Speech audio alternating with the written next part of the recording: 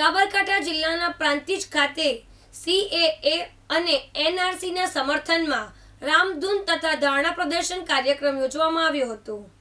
Prantij Bhakhariya bus stand ખાતે આવેલ doctor Baba Saheb Ambedkar complex ખાતે રાષ્ટ્રીય યુવા પરિષદ ગુજરાત દ્વારા સીએએ અને એનઆરસીના સમર્થનને લઈને એક દિવસ માટે રામધૂન તથા ધરણા કાર્યક્રમ યોજાયો હતો, જેમાં મહંત સુનિલદાસજી મહારાજ, રૂપાસભાઈ પટેલ, શામળાજીભાઈ પટેલ, મહેશભાઈ પટેલ, રમેશભાઈ પટેલ, અનુજભાઈ પટેલ, દિલીપભાઈ રાવળ, નટુભાઈ જેએસ પટેલ સહિત રાષ્ટ્રીય યુવા પરિષદ ગુજરાતના સભ્યો સહિત લોકો ઉપસ્થિત રહ્યા હતા અને રામધૂન બોલાવી ધરણા યોજીને સીએએ અને એનઆરસીને સમર્થન આપ્યું હતું.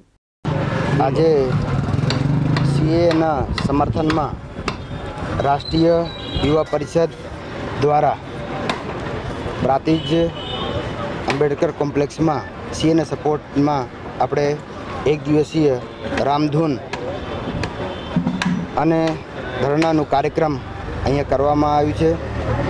સીએ સમર્થન એટલા માટે, ઘણા લોકોનો પ્રશ્ન થતું હતો કે સીએ કેમ, એને સમર્થનમાં કેમ, એને વિરોધમાં કેમ?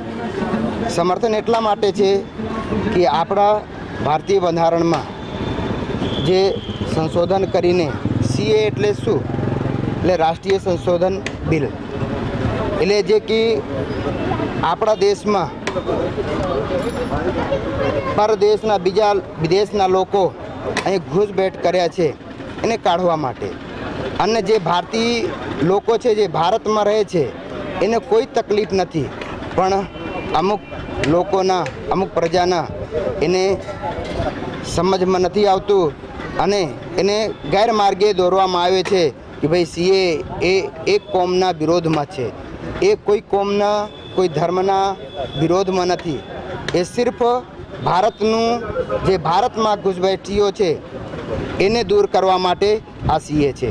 આપણા જોડે રાશન કાર્ડ છે, પાન કાર્ડ છે, ચૂંટણી કાર્ડ છે, આપણા ઘરના બેરો છે, તો આપણે શું કરવા ચિંતા કરવાની જરૂરત છે? અમે એ બંધુઓના પણ આપણે કહીએ છીએ, તમે સીએનો વિરોધ ના વિરોધ ના કરો. તમે સીએનો વિરોધ કરો છો એટલે કે તમે રાષ્ટ્રનો વિરોધ કરી રહ્યા છો.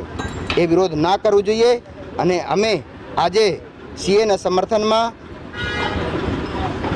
આપણે એક દિવસ માટે અહીંયા બેહા છે રામધૂન અને આંદોલન કરવા માટે કે સરકારના સમર્થન કરીએ છીએ અને સાથે સાથે ભગવાનથી પ્રાર્થના પણ કરીએ છીએ કે એમના જે લોકો છે એને સદબુદ્ધિ આપે ભગવાન અને એ ભારતના બંધારણમાં વિશ્વાસ રાખે અને ભારતીય બનીને ભારતમાં રહેવાનું બધાના અધિકાર છે એ માટે આજે આપણે અહીંયા બેહા છીએ અસ્તુ ભારત ઉમંગ રાવલ દિવ્યાંગ ન્યૂઝ સાબરકાંઠા.